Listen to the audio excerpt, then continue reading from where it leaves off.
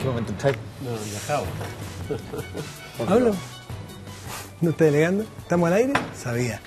Estamos al aire. Sí, Ya. estamos con el ministro Nicolás aire, Izaguirre, ministro de Educación. No me demoro nada, voy a ser rápido. Eh, sí, pues si ya preguntaste. pues. No, se Está hecho el punto. Ya, ni siquiera preguntaste. No, pues, comentaste. iba a otra cosa. Oye, esto, esto exige una explicación.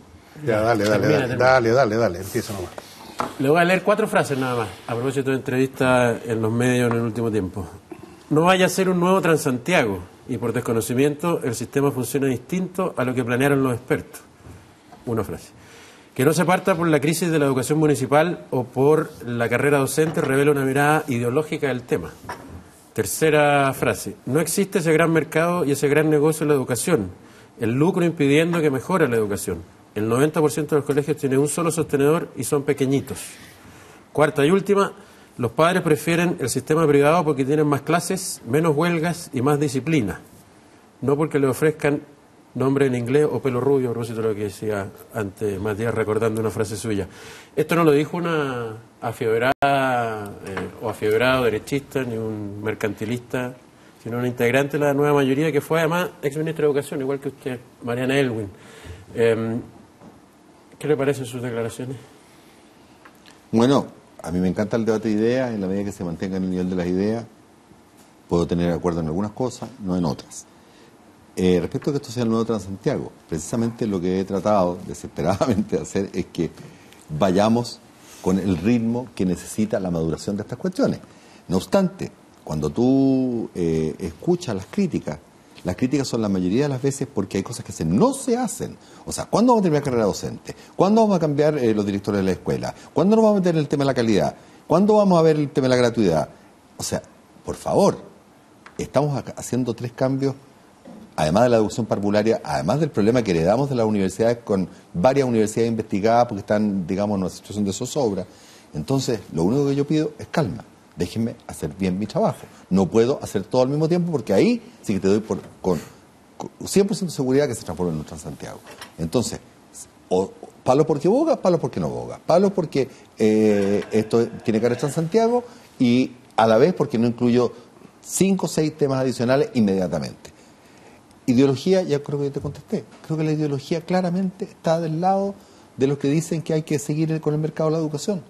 Si Incluyendo en ese lado, por ejemplo, la por democracia ejemplo, cristiana. por ejemplo, no, no la democracia cristiana. Bueno, Ignacio, Walker, de. Ignacio Walker dijo también en la prensa de hoy con claridad que la democracia cristiana de su congreso ideológico están en contra del lucro, en contra de la selección y en contra del financiamiento compartido. Por tanto, la democracia cristiana está cuadrada completamente con este proyecto de ley.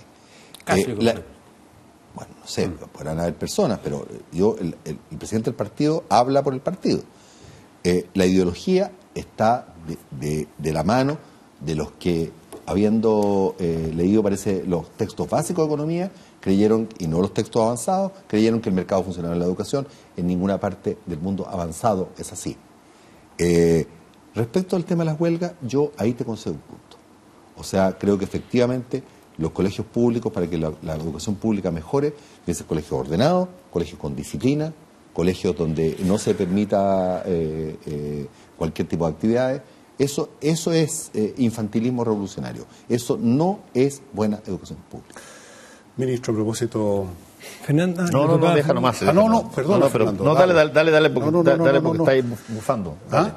dale. Está Dale, dale. bufando, pero no importa. Hazme, no, me, no escuches mi bufido. Fernando Pausa, dale tú. Ok, eh, en el fondo, fondo, tengo yo la sensación de que mucha gente no entiende mucho cómo se va a hacer esta reforma educacional, no entiende mucho sobre qué puede mejorar de lo que eventualmente se está proponiendo. Eh, es eh, prácticamente un, eh, una regla el que cuando una cosa ha tenido el suficiente tiempo de práctica y de transformarse en algo eh, estable, se asume como normal. Y por lo tanto, eh, nuestro sistema, eh, para mucha gente, es lo normal, no es lo anormal. Usted se ha encargado de decir varias veces de que somos una especie de anomalía en materia de eh, sistema educacional en el mundo avanzado.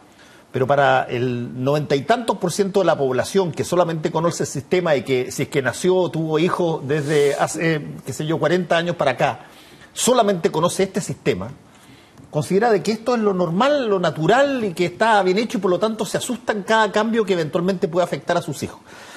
Y uno de los cambios que más lo asusta, porque además eso sí que está lleno de consignas y lleno de eslogan y es una tremenda herramienta para debatir y para pelear políticamente, es cuando se traspasa plata fiscal a eh, entidades privadas o semiprivadas y la pregunta que viene inmediatamente detrás es, bueno, como no hay desayuno gratis, ¿qué piden el Estado cuando se le pasa la, tra- el- el- el, eh, la plata al eh, particular eh, subvencionado? Cuando en vez de, de dejar que las personas paguen, que dicho sea de paso, también es obligatorio pagar en los colegios con copago, no es voluntario, eh, cuando esas personas pagan en, eh, en el acto, como decía Andrés Alamán, de escoger a sus colegios, bueno, y dejan de pagar porque el Estado les, les- les, suple el, el copago, ¿qué piden a cambio? Y ahí viene el miedo, y ahí salen todas las herramientas posibles de eslogan y de desmochos ideológicos diciendo, mira, el Estado por, por su presencia natural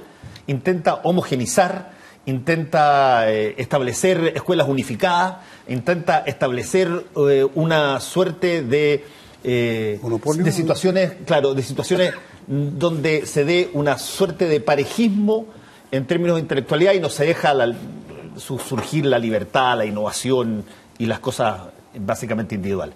¿Qué es lo que se pide a cambio de esta plata que va a poner el Estado en eh, la educación? Bueno, tú dices muy bien, uno de los grandes problemas cuando tú tratas de cambiar un paradigma que está relativamente establecido es que aunque sea eh, completamente errado, al estar establecido se toma como normal, lo decía Hannah Arendt, Arendt, ¿no? Eh, hasta las cosas más Brutal. perversas, ¿cierto? Si es que pasan, si es que pasa mucho tiempo en que se aceptan, pasan a ser normales. Eh, entonces tienes que cambiar ese sentido común y eso es complejo. Eh, en eso estoy tratando y les agradezco en ese sentido el debate que estamos teniendo hoy día. Eh, y obviamente quienes no quieren cambiar estas cuestiones, porque es un buen negocio porque, en fin, por las razones que sea, de colonización cultural, diría yo, eh, van a decir todo tipo de slogans, como que aquí se está atentando contra la libertad de elección, con que si los padres no pueden copagar el fisco al final, como pone toda la plata, va a poner la música y, y los contenidos y todas las los fantasmas afiebrados de eh, la, la concientización y el hombre nuevo, como lo dijo una vez aquí Camilo. Eh, la realidad de las cosas es exactamente al contrario. Y en el proyecto de ley nosotros estamos diciendo que la subvención se puede usar, cosa que no existe hoy día, para cualquier gasto que sea consistente con el proyecto educacional del colegio. A veces eso les va a parecer un poquito abstracto, no es nada abstracto. Significa que si un colegio es religioso y decide, por ejemplo, hacer clases de religión o retiros espirituales, es perfectamente puede usar la subvención porque eso forma parte del proyecto educacional del colegio. O sea, más libertad eh, de uso y de desarrollo de distintos proyectos educacionales, ¿dónde? Y eso no estaba en la ley de hoy día. Te pongo el caso para que la gente sepa. En Ontario, por ejemplo, en Canadá, tú tienes un sistema público eh, donde hay colegios que son en francés, en inglés, protestantes y católicos. Todo el sistema público y lo- la diversidad de proyectos educacionales es total. O en Holanda o en Bélgica. O sea, el hecho de que el Estado ponga la plata no tiene nada que ver con que no puedan haber diversidad de proyectos. Había cuenta que en la ley que estipulada, ¿cierto?, que ese uso de la plata puede ser consistente con distintos proyectos. Hay, hay colegios, ¿tú qué? Sí, no, a propósito y después. em, respecto a los, a los jóvenes. Los jóvenes quieren, hoy en día, eso forma tan- parte también del cambio cultural, a veces con buenas razones y otras veces no tanto. Los jóvenes quieren participar en todo, incluso, no, ni siquiera jóvenes, púberes a veces, 14, 15 años. Hay algunos grupos ahora que están diciendo que se les dio la espalda. O sea, ellos quieren, se habla de las cuatro paredes, una frase como una frase estándar. Quieren, eh, básicamente, a pesar de que tienen 14 o 15 años y son escolares, participar en la, en, en la planeación de la educación. Y si no, por supuesto, vienen las marchas, vienen los paros, que por supuesto perjudican primero que nada a esos colegios, esos colegios públicos que pierden entonces en otro grado más la poca disciplina que les va quedando y más padres se quieren arrancar al sistema privado. Ese es el resultado, lo hemos estado viendo estos últimos años. ¿Qué va a hacer con estos jóvenes que ya esta semana creo que están anunciando nuevas marchas y movilizaciones eh, que dicen que les dan la espalda? ¿Los vas a coger? ¿Van a sentarse en la mesa de igual a igual con los especialistas, contigo, para discutir eh, cómo tiene que ser la educación? o, les vas a decir, eh, mira, el trabajo de usted es ir a estudiar lo que hay en este momento y, bueno, ¿cuál, cuál va a ser la conducta con estos jóvenes que son los que iniciaron todo esto y que en parte incluso son coadyuvaron al triunfo de, de Michelle Bachelet, generaron las condiciones mentales y espirituales, llamémoslo así. ¿Qué vas a hacer con ellos? Bueno, una primera cosa que quisiera decir, un poco para que la gente en la casa entre en sospecha respecto a las cosas que escuchan, es que en tanto los jóvenes, sobre todo los que están más hacia la izquierda, dicen que lo que estamos haciendo no es más que, en el fondo, la validación para ponerle en la rúbrica final al sistema de mercado, de competencia, es decir, parecía que lo cambiamos todo gatobardismo para no cambiar nada y que el sistema siga igual. En el otro lado tenemos que nos dicen que estamos al borde de hacer un sistema completamente estatal. Como las dos cosas no van juntas, alguien tiene que estar sobreideologizando este debate. Yo digo el ancho camino del medio. Ni lo uno ni lo otro, como alguien decía, sino que todo lo contrario. Están elevar nuestros estándares a lo que hace tiempo debiéramos haber hecho como país que aspira al desarrollo. Ahora, la participación yo la encuentro eh, bastante importante, Fernando. No porque me haya bajado un- una dosis de anarquismo ni porque haya estado leyendo a Bakunin o a Proudhon, eh, sino porque efectivamente nuestro sistema político, y por eso es importante cambiar el binominal y otras cosas, todavía está bastante ahogado y las posibilidades de participación son bastante escasas. Eh, y por tanto nosotros hemos hecho un esfuerzo eh, y gente dentro del ministerio que ha tratado de hablar con el movimiento estudiantil, con los profesores, con los padres y apoderados, para recoger. Ahora, tenemos que ser claros que una cosa es recoger sus opiniones en tanto actores, en tanto están próximos, ¿cierto?, al fenómeno educativo, y otra cosa es que, en definitiva, en una democracia representativa, el Ejecutivo se forma una opinión a partir de esos contactos, se lo presenta al Legislativo y en el Congreso, definitivamente, las cosas se deciden. Ministro, en la esencia del debate del lucro, que está la calidad, a juicio de ustedes, que dicen que hay evidencia, uno podría ponerle casos de, y yo busqué, busqué, me comenté en Simses y qué sé yo, y conversé con gente del ambiente, eh, porque yo, para que tiren las piedras, yo soy sostenedor, también pertenezco a una fundación, ¿no? Eh, porque el Twitter ya debe estar. Ahora ya, se, ahora ya Sí, ahora se entiende todo, Claro. ¿no? Ahora, lamentablemente, sin fines de lucro, así que no me podían. Ah, y es gratuito también, así que no hay. Pero, en fin, no habría ningún problema. Lo digo, lo digo para el, lo digo para, Para el récord. Para el récord, para que quede establecido, para que tiren las piedras ahora en Twitter con más fuerza. Eh, no voy a decir qué colegio es, en, una región en la región de la Araucanía, en una comuna de- que atiende mayoritariamente gente, eh, a, jóvenes mapuches, atiende 800 jóvenes mapuches, eh, es particular subvencionado con fines de lucro, es gratuito y tiene, respecto a su, a su conjunto, a su entorno, bastante mejores resultados que los otros que son sin fines de lucro. La pregunta conceptual, más que el caso a caso, porque los caso a caso son bien injustos para los análisis, pero por eso voy al concepto, que usted lo va a entender bien. ¿Por qué ese profesor que tiene ese colegio, dicho sea paso, si el 78% de los colegios eh, de los colegios particulares subvencionados son con fines de lucro, el 68% son tienen un solo colegio y es de profesores, de un profesor o un grupito de profesores, para que más o menos se cache, pero en fin.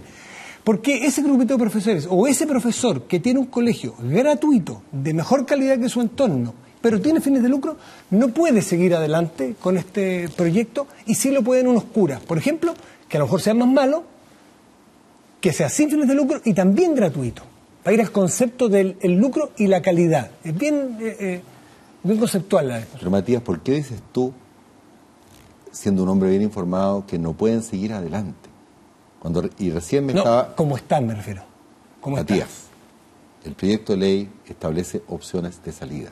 Lo que nosotros queremos es precisamente que todos esos profesores que tienen un emprendimiento, que tienen vocación educacional, continúen con la figura de sin fines de lucro. Y es más, les decimos, ustedes resarcen su inversión porque como personas también pueden haber puesto su dinero, ya sea, si quiere continuar como particular subvencionado, extrayendo una cierta parte de la subvención para pagarse, pero continúa como gestor del colegio, tiene un sueldo, usted, su señora, su que se fue por el otro lado la respuesta. Yo para eso podría conversar- le pregunto el concepto de lucro y calidad. Porque el tema de la salida, si quiere, lo hablamos. Porque más o menos lo, lo leí. Y también es complicado porque el que- 70% de los colegios particulares subvencionados no son, pueden latearle las Haz- cifras, si las el- latean me dicen. Hazte el ejercicio de, mir- de mirar de nuevo el programa y va a ver que me hiciste dos preguntas en una. Yo no te estoy, con- me estoy que me hiciste dos preguntas. El concepto. Ya, yendo no pueden seguir que ya lucro ese con- profesor de con- Petrusquén. Ya te lo contesté hace un rato atrás, Ma- Matías. En educación, lucro y calidad se oponen, se tensionan. Puede ser que en un caso tú tengas que haya lucro y calidad, como el caso que me estás poniendo. Pero la pregunta, como cierto analítica, es, ¿la calidad se debe al lucro? No, pues se puede No. deber a que en ese particular conjunto de circunstancias el profesor es bueno, tiene mucha, mucha vocación, hay un buen director, etcétera, etcétera. Pero a nivel conceptual, lucro y calidad se oponen en el caso de educación. Ahora, usted sabe mejor que yo que el 70% de los colegios particulares subvencionados, los sostenedores no son dueños de la, del, del inmueble. Claro. Entonces, ¿cómo? Y, y la ley le exige a usted, la ley, el proyecto de ley que yo tengo aquí, lo estuve leyendo, le exige ser dueño si es que quiere resarcir su inversión. Por lo tanto, no tiene salida. No puede recibir la plata. Le da 12 años para que se haga propietario de los activos esenciales. 12 años.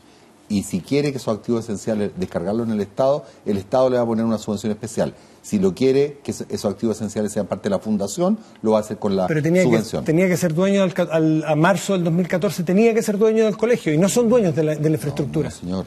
No, señor. Los que ya están bajo la regla del juego pueden hacerse dueños en un espacio de 12 años, más lo que nos demoremos en la ley. Se podemos estar hablando de 13 años o más.